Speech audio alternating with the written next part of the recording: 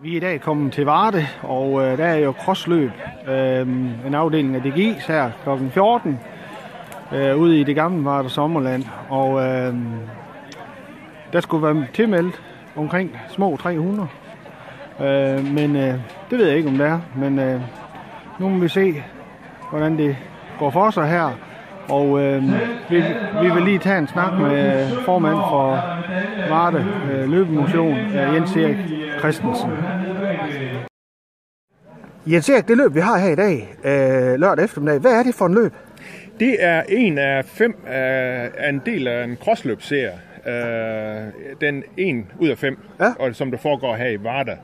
Øh, det, serien foregår i Sydvestjylland her. Altså, Ja. Er det inden for DGI-regi? Ja, det er DGI, der arrangerer det. Så vores afdeling er arrangeret her øh, med Varda Løbemotion og Varda Pakløb, Ja. øh, som vi arrangerer sammen. Ja. Så i samarbejde med DGI, ja.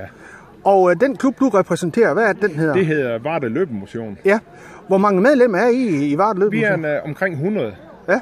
Er det tilfredsstillende?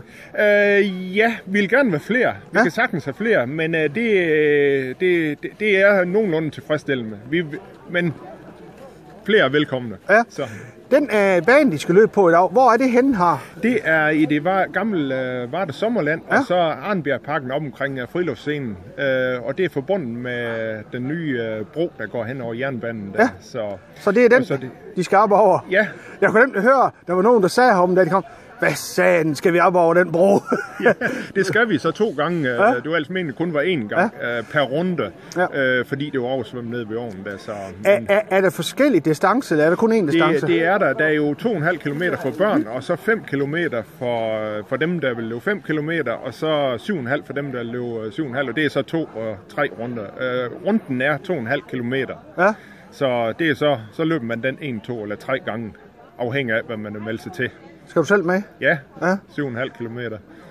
Jeg vil sige held og løb med. Jo, tak skal du have. Ja, selv tak.